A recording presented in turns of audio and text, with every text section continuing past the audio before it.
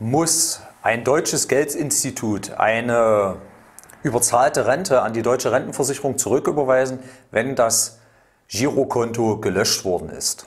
Mein Name ist Peter Knöppel, ich bin Rechtsanwalt und Rentenberater von Rentenbescheid24.de.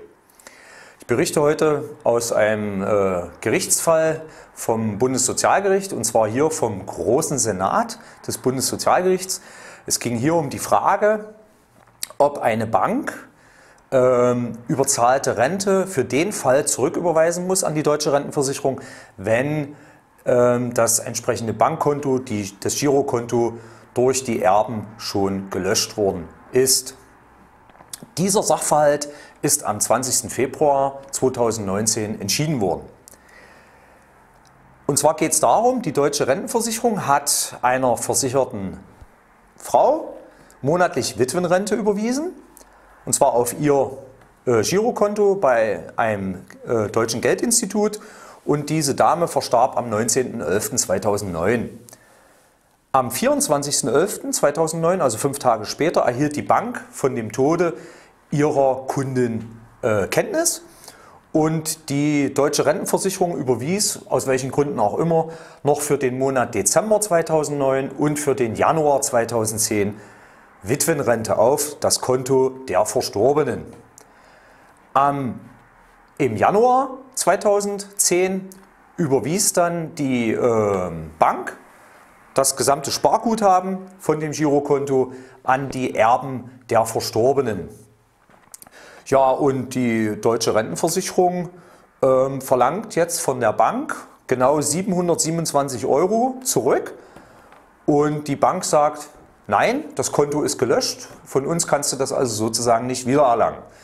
Ja, und da gab es dann ein Klageverfahren und in der ersten Instanz vor dem Sozialgericht äh, hat die Deutsche Rentenversicherung Recht bekommen und äh, im Berufungsverfahren vor dem Landessozialgericht hat dann die Bank Recht bekommen.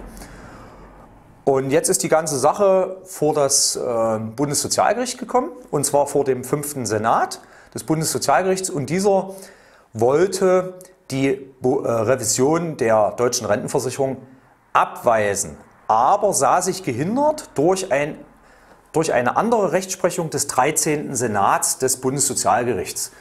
Und zwar ähm, ist, das ist das Interessante an der ganzen Sache hier, ähm, es gibt es nicht oft, aber in der Praxis kommt das dann doch schon mal vor, äh, dass sich zwei Senate von höchsten Gerichten sozusagen mit ihren Auffassungen gegenüberstehen.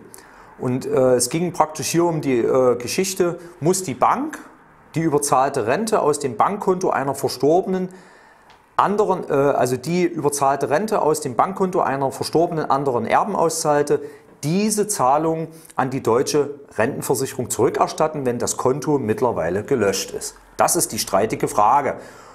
Und ähm, daraufhin hat, das, äh, hat der fünfte Senat eine sogenannte Divergenzanfrage an den großen Senat des Bundessozialgerichts gestellt. Das heißt nichts anderes, Divergenz, wir weichen mit unserer Auffassung ähm, gegenüber der Rechtsauffassung des 13. Senats ab und der 13. Senat hat dazu auch schon Urteile gefällt, indem er gesagt hat, ja, äh, die deutsche Rentenversicherung hat einen Anspruch auf Rücküberweisung, auch für den Fall, dass das Konto äh, schon gelöscht ist. Ja, und das, äh, der Große Senat hat dann am 20.02. in dieser für die Praxis doch wichtigen Frage entschieden und hat gesagt, ja, lieber fünfter Senat, ähm, die Rechtsauffassung des 13. Senats ist richtig und ähm, du musst sozusagen der Revision der deutschen Rentenversicherung stattgeben.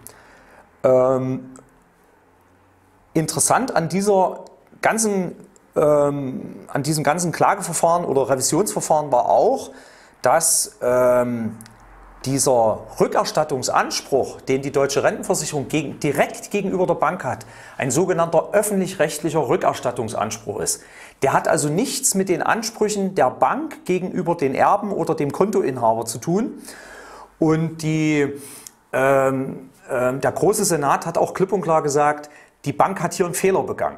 Sie hätte als sie Kenntnis davon hatte, dass die G verstorben war, das war ja praktisch fünf Tage nachdem sie tot war, hatte sie ja schon Kenntnis, dann hätte sie ein sogenanntes Zurückbehaltungsrecht geltend machen müssen. Das heißt also, sie hätte das Guthaben aus dem Konto nicht auszahlen dürfen oder zumindest nicht in der Höhe auszahlen dürfen, wo Rentenleistungen durch die Rentenversicherung eingegangen sind.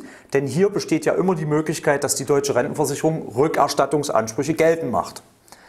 Und ganz interessant an dem Fall war auch, dass nicht darüber entschieden worden ist oder nichts dazu gesagt worden ist, ob denn die Bank wiederum nunmehr Ansprüche gegenüber den Erben hat.